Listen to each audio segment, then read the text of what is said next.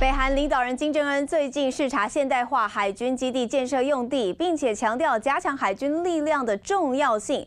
北韩官媒朝中社就公开了金正恩跟官员一起视察位于海岸线附近工地的照片。报道当中是没有提到时间跟地点，而金正恩表示说，建造最新的大型军舰以及武器系统的海军基地是朝鲜人民的迫切任务。另外也指出说，金正恩的新决策展现了北韩对海军战力发展的重视，以及加强海上防御跟战略力量的决心。